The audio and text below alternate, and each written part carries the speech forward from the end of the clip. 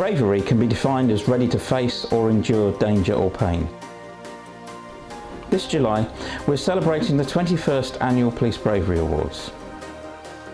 We have 70 nominees from 40 forces, and the outstanding stories of courage, bravery and selfless acts are truly incredible.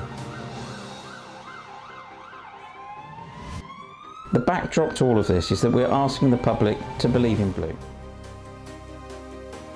There are dozens, if not hundreds of officers who do equally brave acts up and down the country every day who demand and expect no recognition.